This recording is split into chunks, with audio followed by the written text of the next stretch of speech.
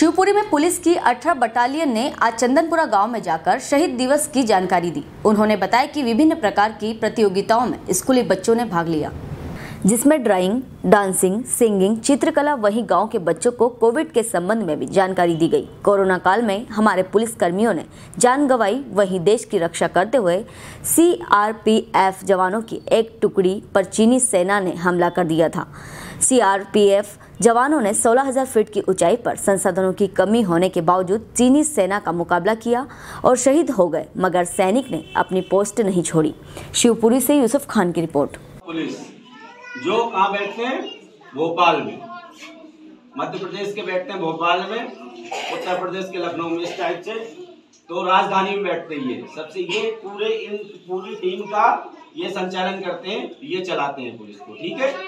और ये जो तस्वीर लगी है जो सामने अभी बासठ सन बासठ की जो बात हो रही बासठ वर्ष पूर्व की ये वो फौजी है जो बॉर्डर पे थे अपनी रक्षा कर रहे थे। किसकी रक्षा कर रहे थे?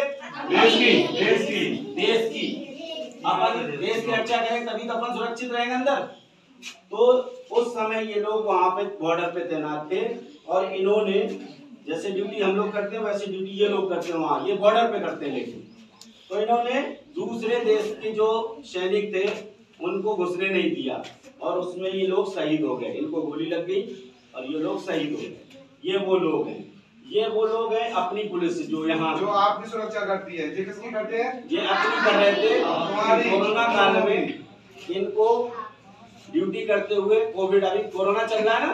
अभी भी चल रहा है। नाम सुना ना कोरोना का। तो ये उसमें बीमार हो गए हाँ, तो कोरोना से कोरोना बीमार हो गया गए थे। वो कोरोना हो गया था। तो ये उसमें शहीद हो गए ये अंकल जो दिख रही फ़ोटो ये? ये अपनी बटालियन में ये इसी बटालियन में थे। ये हम लोगों को जो सामान होता है ना ड्यूटी के लिए। तो आज कार्यक्रम रखा गया है। किस प्रकार का क्या कार्यक्रम है? ये 21 अक्टूबर का जो पुलिस स्मृति दिवस जो शहीद हुए हैं उनके स्मृति में ये कार्यक्रम मनाया जाता है। जो कि पूरे देश में ही मनाया जाता है। और हमारे प्रदेश में मुख्य कार्यक्रम भोपाल में आयोजित किया जाता है।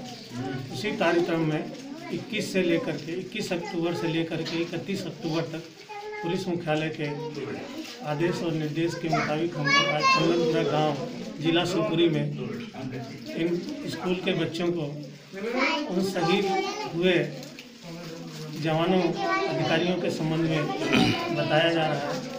और इनको बताया जा रहा है कि शहीद क्या होता है। सर जिन स्कूलों का जो बच्चों ने पार्टिसिपेट किया है अगर उनका उनको कैसा क्या लग रहा? है बहुत अच्छा बच्चों को काफ़ी जानकारी है इस संबंध में।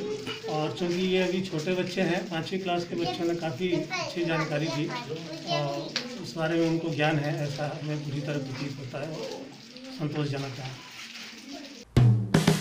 हेलो फ्रेंड्स आप देख रहे हैं हमारा channel S W twenty four news हमारे सारे वीडियो सबसे पहले देखने के लिए आप हमारे चैनल को सब्सक्राइब करें और पास में लगे बेल आइकन को दबाना बिल्कुल भी ना भूलें।